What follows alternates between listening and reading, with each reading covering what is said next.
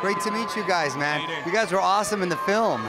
My God, with all the ups and downs, did you ever think you'd end up here and nominated? It's got to be a little surreal, right? It's really surreal, and it's such a lovely way to, to finish it out. Really, all the awards, the, the whole season, and to be here as a, a final celebration of the movie and of Rami's performance is great.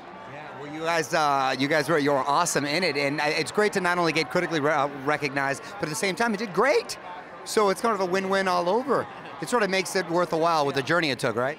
Well, you know, we always knew it was special. You know, even with some of the chaos that happened around it, when we were on set, we knew we were doing something that was really great, and that nothing was ever going to stop us. You know what I mean? Like, not to do a Queen pun, but don't stop me now. But we really felt that way. We, we felt like, yeah, all that is just noise because we know this movie's really good, and to see that validated with how well it's done around the world and these award seasons, it's been something that's really special. And and the fact that we always had Queen support and that they always told us how happy they were with it and how proud they were.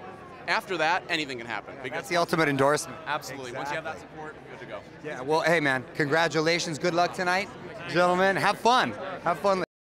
One more extra. Hit the subscribe button and the bell. Never miss a video.